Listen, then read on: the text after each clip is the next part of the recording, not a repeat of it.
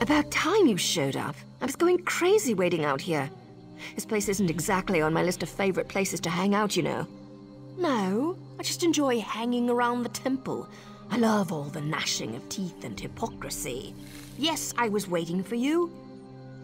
Look, don't get too excited. There's trouble brewing and I don't have a contract, so I can't officially get involved.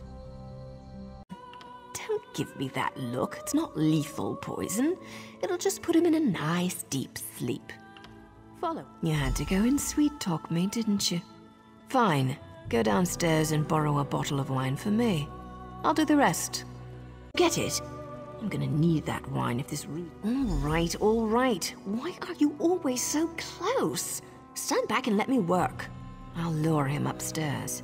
You wait a moment, then follow us. When I give the signal, go ahead and snatch the key.